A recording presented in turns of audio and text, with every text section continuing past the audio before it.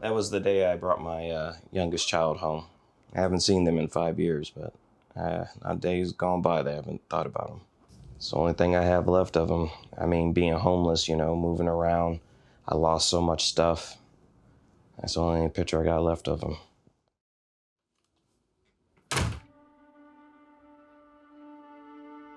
You want to start at the beginning? Let's start at the very, very beginning. so in 2015, I arrived in Seattle with my ex-wife and my three children.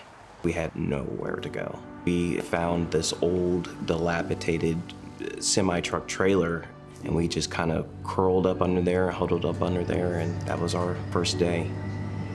Being homeless and then being homeless with children, it is a feeling of hopelessness that no words can really describe how, how that feels to know that your child has nowhere to stay, no food, and you are supposed to be that child's provider. We eventually found a little family shelter. Everything was fine at first, you know, until we started getting into our little creature comfort. So I think I became laxed and I turned once again back to drugs. So I was back in that cycle of using, wanting to quit, not knowing how to quit, and trying to be a father. It's, uh, was a, a juggling act I couldn't keep up anymore. I need to change. A friend of mine came up to me and he was like, hey man, you gotta check this program out called FareStart. I wanna take you to Pike Market and show you some of the stuff that I get to work with. And he took me to uh, this little cheese shop and I was just like, wow, this is amazing. He's like, bro, I get to work with this stuff every day. He's like, you gotta come to FareStart. And that's when I kind of consented. I was like, all right, I'm gonna give it a shot. It was scary. It was a, a big step. And uh, I had no one to take it with me. Miss Jones' life skill class is the first class that you take when you come to FareStart, and it really does teach you, you know, you can be something else besides what your past was. That started to really resonate within me. I started to feel better about myself and started to respect myself a lot more. Thanks, Michael.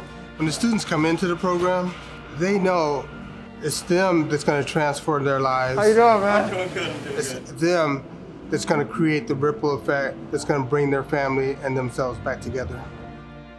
I have just been learning everything I can about French cuisine, Greek cuisine, Middle Eastern cuisine, the knife skills class. Wow, it was uh, amazing. It is amazing to watch someone who actually comes into the program literally scared and just watch that transformation and the confidence just rise up in their soul. I was uh, getting ready to graduate FareStart, and I went for my first stage working interview. And Chef Dan comes in and he's like, Scott, how did your stage go? And I was like, Chef, I got the job. I started off at the fryer.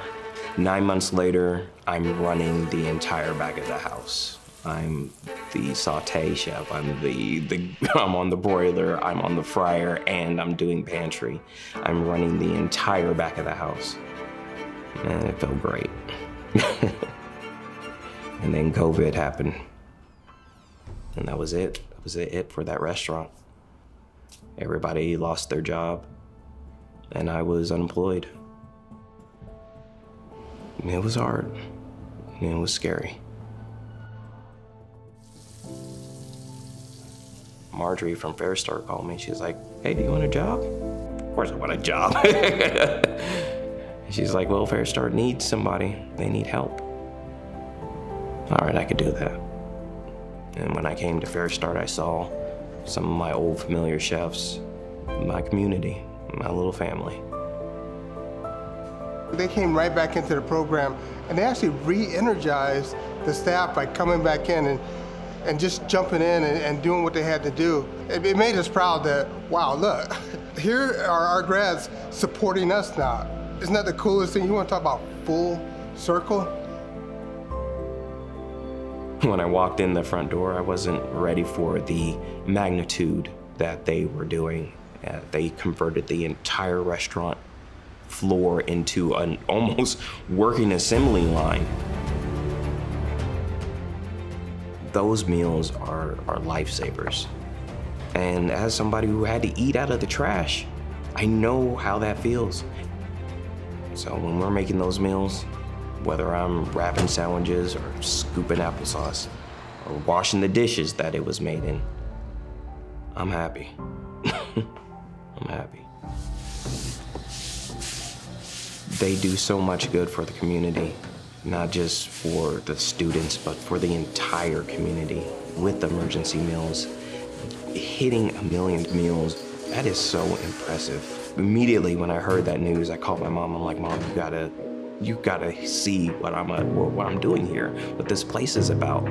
You know, and she was proud. She was proud of me that uh, I'm doing something with my life. You know, just I love it. FareStart means everything